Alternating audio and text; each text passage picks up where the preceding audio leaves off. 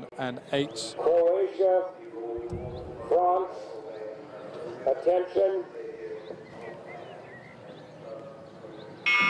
Adam Korol, the stroke man of Poland in lane number one. Years of experience here, really having to time the big races. They've got their mind on one thing, 2012. But meanwhile, steps have to be taken. Poland in one, Great Britain in two, Germany in three, Ukraine in four, Croatia, the world champions from 2010 in five, France in lane number six.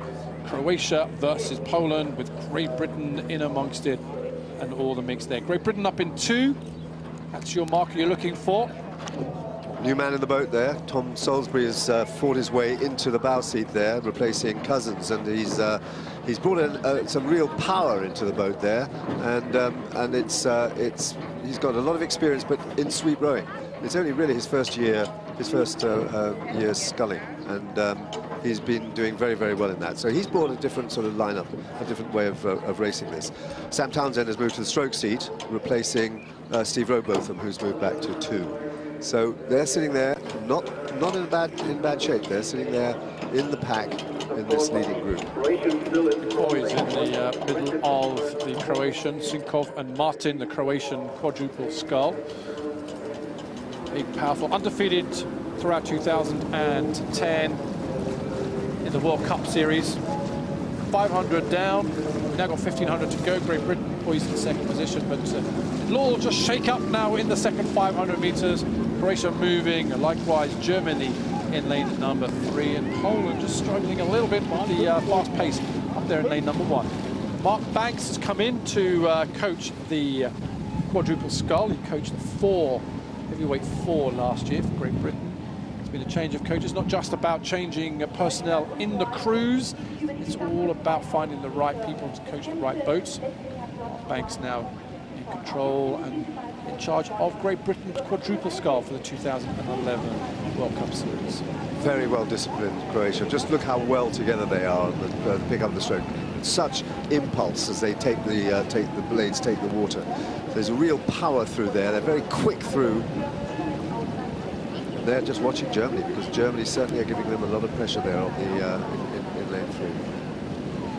Great Britain have really been uh, it's Sam Townsend in the stroke seats, uh, Bill Lucas, Stephen Rowbotham, and uh, Tom Solesbury in the bow seat. For, for the quad, it's really been a story of getting them up on into a World Championship final. There've been a number of stops and starts. They've been very good in World Cups over the last couple of years, but for one reason or another haven't performed at the World Championships. 2009 they had to withdraw for injury, and they were fifth at the World Championship final last year. So for the British crew, it's all about putting it together as we step towards London next year, the Olympics. Into the third 500, second part of this race, men's quadruple sculls heavyweight final. Croatia leading as they have done really right from their first stroke. Croatia in lane number five are the defending world champions. Germany in lane number three on home water, fourth. Those world championships, Great Britain were fifth. Poland, defending Olympic champions, really not living with this speed right now. Well, Ukraine were the fastest uh, qualifying, and they've uh, slipped right out of the picture. Uh, Croatia must have just been biding their time a little bit. Uh, but Germany, the surprise here. Germany really up there with them. So right now it just looks like a bit of cat and mouse between Croatia closest to us and Germany in lane number three. Really are matching the strokes slightly ahead.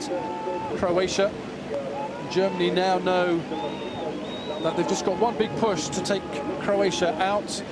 We'll see that into the last 500 meters. Germany are staying a bit steadier. Germany at 34 strokes a minute and Croatia at 35 and a half strokes a minute. So the Croatians are under, under a lot of pressure. Into the last quarter of this final of the men's quadruple sculls, and it's between Croatia and Germany.